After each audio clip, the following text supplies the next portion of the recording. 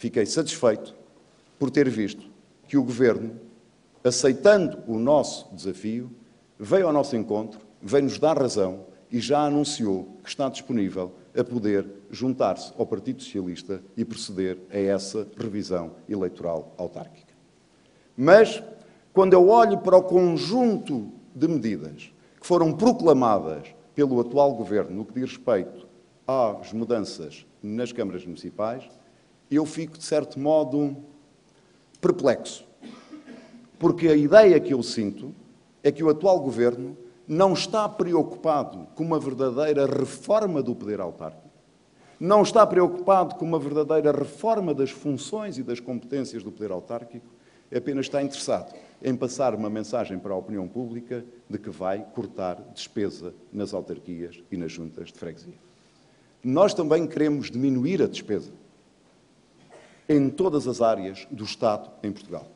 E também queremos que se diminua a despesa nas juntas de freguesia e nas câmaras municipais. E também queremos introduzir maior racionalidade nos dinheiros públicos e na sua utilização nas juntas de freguesia e nas câmaras municipais.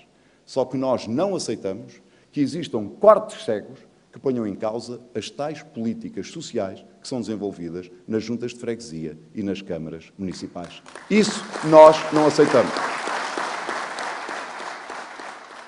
Conheçam o país antes de apresentarem propostas respeitem as pessoas. Isso tem a ver, meus caros amigos, com sensibilidade social.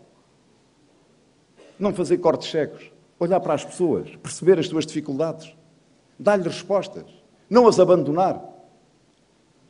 Infelizmente, este governo, nestes cento e poucos dias que já tem de governação, não expressa essa insensibilidade social apenas nesta proposta de reforma das freguesias. Olhemos para o subsídio de Natal. Nem quero discutir se era necessária essa receita ou não. Mas um governo, quando precisa de receita, e é discutível se precisa dela, lança um imposto extraordinário. Nós perguntamos: se lança um imposto extraordinário, deve ser sobre todos os portugueses. Não.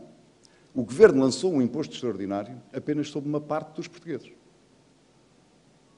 O que seria lógico era que nós perguntássemos: lançou sobre aqueles que têm mais dinheiro? Não, fez o contrário. Lançou sobre aqueles que têm menos dinheiro. Isto é, lançou sobre aqueles que vivem dos rendimentos do seu, do seu trabalho e que vivem do, da sua pensão de reforma a que têm direito. E quem é que deixou de fora? Deixou de fora aqueles que vivem dos dividendos, das mais-valias, do capital. É justo. É justo que um trabalhador que ganhe 700 euros tenha que contribuir para esse imposto extraordinário e que um acionista que receba 2 milhões de euros ou menos não faça um esforço para poder contribuir? Aqui tem um exemplo de injustiça e de insensibilidade social. E o que é que o Partido Socialista fez? Não ficou apenas pela crítica.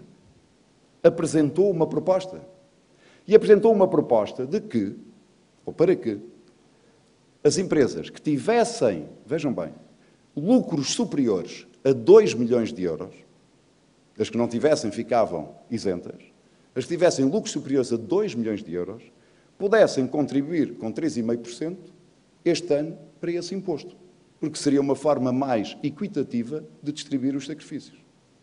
E com esse dinheiro, sabem o que é que era possível fazer? Se as empresas pudessem contribuir com esses 3,5%, sabem o que é que era possível fazer?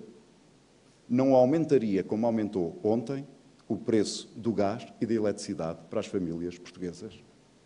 Porquê? Porque, ao contrário do que muitas das vezes dizem, o memorando da Troika não prevê aumento do IVA sobre o gás e sobre a eletricidade para o ano 2011. Prevê só a partir do ano 2012 e não prevê para a taxa máxima. O que é que acontece? Cada uma das senhoras e dos senhores que estão aqui nesta sala, ou dos portugueses que nos estejam a ouvir, pagava um IVA sobre o gás e a eletricidade de 6%. E a partir de ontem, por opção deste governo, vai passar a pagar 23%. Estamos a falar de um aumento de 280%. 280%. E por isso, quando o governo vem dizer que há uma série de portugueses que vão ficar, e bem, isentos desse aumento, nós o que devemos dizer é que oferecemos ao governo uma alternativa para arrecadar mais receita e deviam ter ficado todas as famílias e todas as empresas isentas do pagamento em outubro, novembro e dezembro desse aumento sobre o gás e sobre a eletricidade.